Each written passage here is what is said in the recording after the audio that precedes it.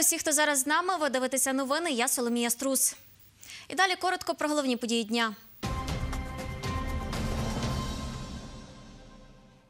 20 низькопідлогових автобусів вартістю понад 49 мільйонів гривень закупили для Тернополя. Понад 400 осіб у Тернополі скористалися онлайн-сервісом, щоб записати дітей у школи та позашкільні навчальні заклади. Діагноз коронавірус, який тернопільські медики підозрювали у дворічної дитини, не підтвердився.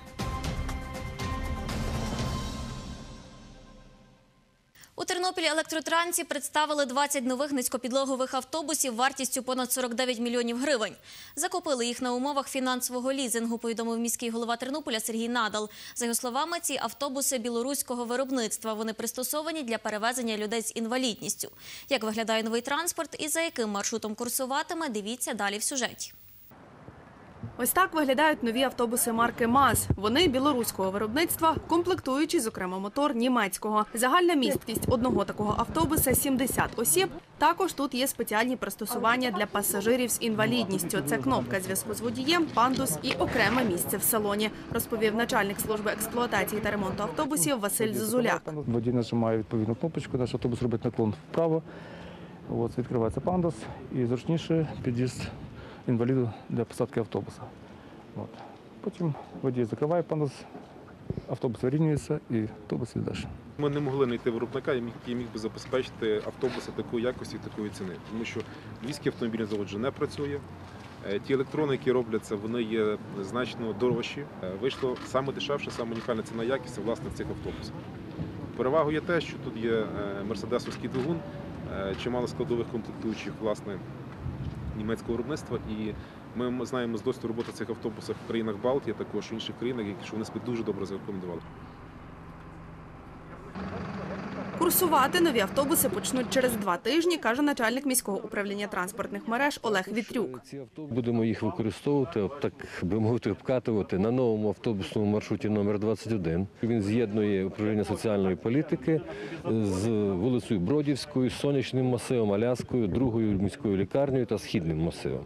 Також е, ці автобуси будуть у вигляді обкатки виїжджати на 35-й маршрут. В кінці березня в нас буде проведений конкурсний відбір перевізників на нову маршрутну мережу. І одразу після цього конкурсного відбору, в квітні місяці, е, ці автобуси, які ви бачите, будуть працювати на е, тих маршрутах, які виграє, е, де переможцем буде комунальне підприємство Тернопіль Електротранс. Нові автобуси закупили на умовах фінансового лізингу, розповів міський голова Тернополя Сергій Надал. Каже, договір про це 21 лютого цього року уклали із Державним банком України.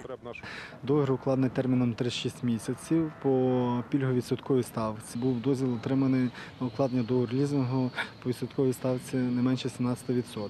Але безпосередньо вже на рішення кредитного комітету управління банком було прийнято рішення е, фінансувати даний проект під знижену відсоткову ставку під 13,5, оскільки даний проект є насамперед соціальним. Анастасія Чечко, Андрій Прокопів. Новини на Суспільному. Тернопіль.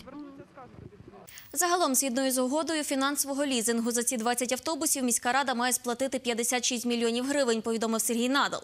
В Тернополі разом із новими є 44 низькопідлогових автобуси, розповіла речниця міськради Мар'яна Зварич. За її словами, їх закупили для створення єдиної комунальної транспортної програми, яку в міськраді прийняли в листопаді 2018 року. Понад 400 осіб скористалися онлайн-сервісом запису дітей у школи та позашкільні навчальні заклади Тернополя. Електронна реєстрація діє з 1 березня. До системи підключили усі школи та 13 позашкільних навчальних закладів Тернопільської громади. Повідомила речниця Тернопільської міськради Мар'яна Зварич. Більше розповість Анжела Шова.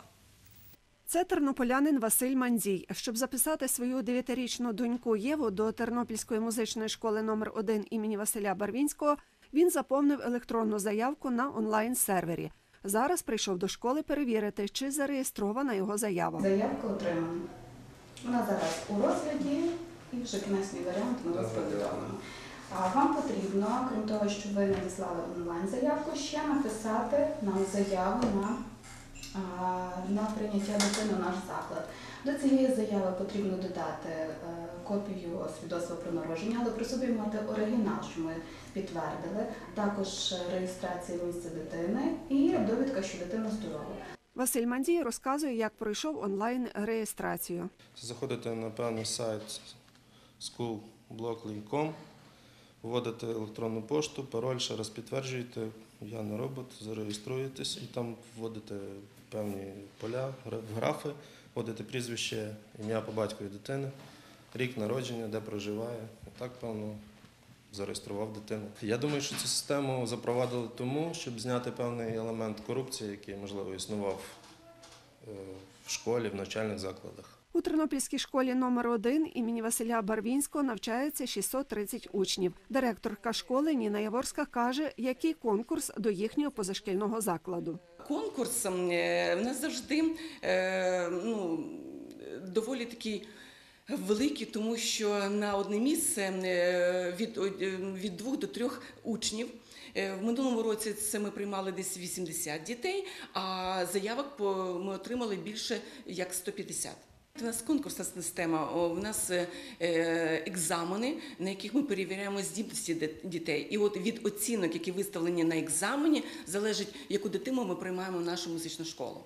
У нас такий творчий відбірковий конкурс. І від черги не залежить. Цю ситуацію прокоментувала представниця робочої групи з реалізації електронного урядування Мар'яна Зварич. Вона каже, порядковий номер електронної черги будуть враховувати серед тих дітей, які склали вступний іспит. За її словами, у Тернополі онлайн-сервіси працюють в тестовому режимі. Головна мета, щоб зробити абсолютно чіткі і прозорі черги на зарахування в заклади і в загальної середньої освіти, і в позашкільні навчальні заклади. І друге це і зручність для батьків. Це передбачено три черги. Це в школи, всі школи міста, це в позашкільні навчальні заклади. Тобто, так як повторюся, це спортивні, музичні, художні, школа народних ремесел, станції юних техніків, а також дитячі. Дитячі садочки теж буде ця сама черга на порталі. Анжела Шова, Оксана Галіяш. Новини на Суспільному. Тернопіль. Як повідомила начальниця Тернопільського міського управління освіти Ольга Похиляк, електронна реєстрація триватиме з 1 березня до 29 травня. Електронна реєстрація до установ відбувається відповідно з графіком, встановленим навчальними закладами. З ним можна ознайомитися на сайті міськради. Вартість системи електронної реєстрації 194 тисячі гривень. Гроші на це виділили з бюджету Тернополя. Дитина, в якої підозрювали коронавірус, хвора на грип Б. Про це сьогодні розповів епідеміолог обласного лабораторного центру Володимир Паничев. За його словами, результати аналізів отримали вчора о 20.30. Дитину госпіталізували до інфекційного відділення міської дитячої лікарні, каже директор цього медзакладу Андрій Артемович. За його словами, лікарі після отриманого виклику працювали за алгоритмом, наданим Міністерством охорони здоров'я. Заступниця начальника міського відділу охорони здоров'я та медичного забезпечення Ольга Ярмоленко розповідає, виклик від матері дитини віком 2,5 роки надійшов вчора о 14.30. Вони є жителі одного із приміських сіл Тернопільського району, е, що не входять до складу Тернопільської міської територіальної громади. Лікарем встановлено, що вони перебували, відпочивали в- Іспанії, в Мадриді і недавно повернулися. Дитина скарж... мати скаржилася на гарячкування дитини, прояв е, симптомів е, нежиті, біль в горлі. Мати та дитину медики госпіталізували до інфекційного відділення міської дитячої лікарні. Персонал спрацював ефективно, зразу було належним чином задіяно захисне спорядження. Пацієнти були ізольовані в відповідне приміщення, яке передбачає безпеку. Завідувачка інфекційного відділення дитячої лікарні Ольга Дивоняк розповіла про стан дитини. з позитивною динамікою в- від вчорашнього дня. Трактується як середньо тяжкий. Паніки серед персоналу не було. Ми навчалися, як ми маємо приймати хворого. Була надана вся необхідна допомога дитині. Лікар-епідеміолог Володимир Паничев каже, в обласному лабораторному центрі провели аналізи. Коронавірусу не підтвердили. У дитини грип Б.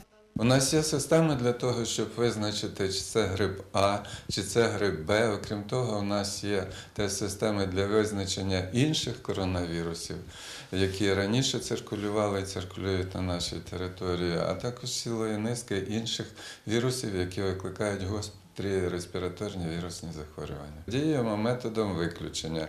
Спочатку досліджуємо на грип. А чи Б. Потім, в разі негативного результату, досліджуємо на інші респіраторні віруси, в тому числі на банальний коронавірус. В разі отримання негативного результату на рівні Києва досліджуємо на COVID-19. Так як е, завершилося грипом Б, то подальші дослідження вже не мають сенсу. У Тернополі діє цілодобова гаряча лінія, на яку можуть звертатися тернополяни, які повернулися з країн, де були випадки коронавірусу. Також Ольга Ярмоленко розповіла про профілактику цього вірусу. Мити руки, мити водою з милом. Максимально 10-15 разів. Не рекомендується проводити рукопотискання, тому що теж коронавірус може передаватися, е, інфекція може бути на руках і передати. В робочих приміщеннях часто проводити провітрювання приміщень і е, застосування прибирань е, загальних коридорів проводити із дезасобами. Культура має бути кашлю і культура чхання. Ні в якому разі не можна це робити в долоню, це робиться в серветку паперову і тут же утилізується або е, в згин ліктя. Богдана Сарабун, Андрій Бодак. Новини на Суспільному. Тернопіль. На сьогодні в Україні не зареєстрували жодного лабораторно підтвердженого випадку коронавірусу. Це дані Міністерства охорони здоров'я, повідомив Володимир Паничев. За даними Всесвітньої організації охорони здоров'я, на 18 годину зареєстрували 89 тисяч 253 випадки коронавірусу в 69 країнах світу. З них 3 тисячі 48 летальні. Видужили 45 тисяч 394 особи. В Європі найбільше випадків коронавірусу зафіксували в Італії – понад 1600. В аптеках Тернополя немає медичних масок. Про це сьогодні повідомила заступниця начальника міського відділу охорони здоров'я та медичного забезпечення Ольга Ярмоленко. За її словами, в Тернопільській громаді є понад 700 аптек. Наша знімальна група побувала в двох аптеках Тернополя. Їх завідувачі кажуть, замовити маски немає де. Ольга Ярмоленко розповіла, для чого використовують медичні маски. Засоби індивідуального захисту в першу чергу потрібні медичним працівникам, які постійно працюють е, з хворими, і хворому потрібно. Е, Міським головою підготовлено звернення до всіх власників аптек, які є на території Тернопільської громади. Їх понад є 700. Звернення ми від, е, направили в п'ятницю і очікуємо в понеділок-вівторок, яка буде інформація, як будуть забезпечувати масками. Завідувачка аптеки Вікторія Скочеляс каже, на жодній з оптових фірм медичних масок не можна замовити, бо їх немає. Зараз наявності нас немає. Було минулого тижня поступлення. е, Там невелика кількість до 100 штук, але всі в один день до обіду всі розпродалися. Е, Зараз е, ну, буквально за три тижні до того також була більша кількість поставок. І, і буквально в той самий за два дня ці всі 600 штук масок, які в нас були, вони вже всі розпродали. Зараз немає їх на фірмі і немає де замовити. Керівниця аптеки Ольга Жируха розповідає, маски від вірусів не захищають. Для цього можна використовувати респіратори. Їх зараз є 200. На даний момент тільки продажі є респіратори виробника Великобританії, е, захист ступеню F3, F2 або звичайна маска е, FF2. Такого вона характеру, вартість якої складає 100 гривень, тому що це виробник Великобританії. Трьохшарова, е, стерильна, е, захищає від вірусів, від бактерій, тобто від пилу. Також у цій аптеці є 20 захисних наборів комбінзонів. Їх, за словами Ольги Жирухи, використовують медичні працівники. Вона показала, що входить у набір. Це є фартух, це високі бахіли, окуляри, які підлягають е, стерилізації в автоклавах, рукавиці двох е, е, хірургічні підвищеного ступеню захисту подвійного і комбінзон.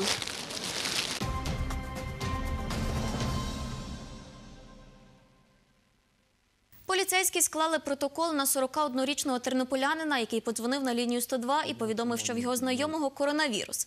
Про це розповів начальник сектору дільничих офіцерів Нацполіції області Петро Довгань. За його словами, чоловіка можуть оштрафувати від 50 до 119 гривень. Такий штраф передбачений статтею 183 Кодексу України про адміністративні правопорушення. Неправдивий виклик спецслужб. Петро Довгань каже, поліцейські виїхали за вказаною адресою, але дверей ніхто не відчинив. На наступний день поліцейські знайшли власника квартири. Він сказав, що поліції не викликав і повідомив, що це зробив його кум. Встановлено, що е, даний виклик е, носив неправдиву е, інформацію, оскільки особа, яка зверталася і назвала свої дані, не відповідала дійсності. Е, Також е, було встановлено, що е, даний чоловік був раніше звертався на лінію 103, е, де йому у виїзді швидкої екстреної медичної допомоги було відмов- відмовлено. У зв'язку з чим особа вирішила таким чином помститися працівникам швидкої медичної допомоги. Тернополянин зізнався, що телефонував до поліції та повідомив про нібито хворого сусіда. Дзвонив я, у мене піднявся тиск. Позвонив на 103. Мені сказали, що швидка, на жаль, не, певно, не приїде, бо мусите звернутися до свого дільничого лікаря. Позвонив на швидку е, на 102. Сказав, що напевно мій друг захворів якоюсь вірусною інфекцією. Не знаю, чи то коронавірус, чи то не коронавірус, щось. Ну, треба перевірити і мене його. Тому що в мене піднявся тиск, я вже там, ну, конкретно, що в голову прийшло, можна сказати, так, то і говорив. Після другого дзвінка швидка приїхала десь, може, через 4 хвилини. Мені прикро, що таке сталося, але я думаю, що швидка має приїжджати до людини по-любому.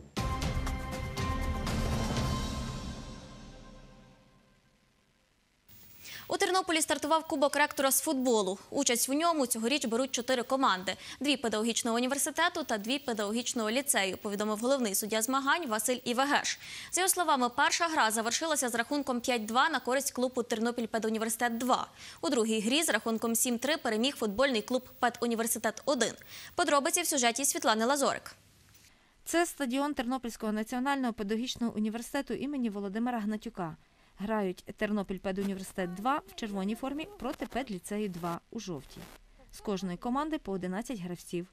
Тайм триває 40 хвилин і завершується з рахунком 2-0 на користь команди педуніверситет. Я забив другий гол. Я обіграв двох гравців і вдарив в дальній кут і забив.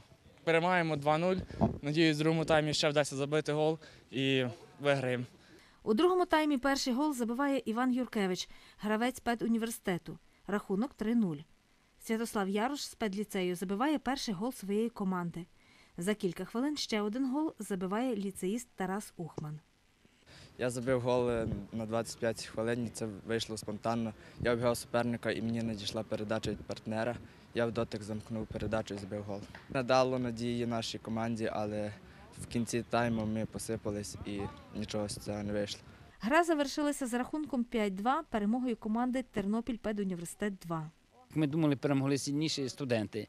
Бачите, рахунок трохи забагато. 5-2 це такий, що хотілося менше. Ну але ми хотіли дати всіх пограти. Бачите, було багато замін. Позиційні помилки були, що е, з другої сторони десь фізично не готові були. І старший, як то кажеться, брат, вони десь і плечом потолкнуться, і, і десь вони більше можуть от, е, з тої сторони. Але самовіддача, бажання було. Я думаю, одно, що е, результат закономірний.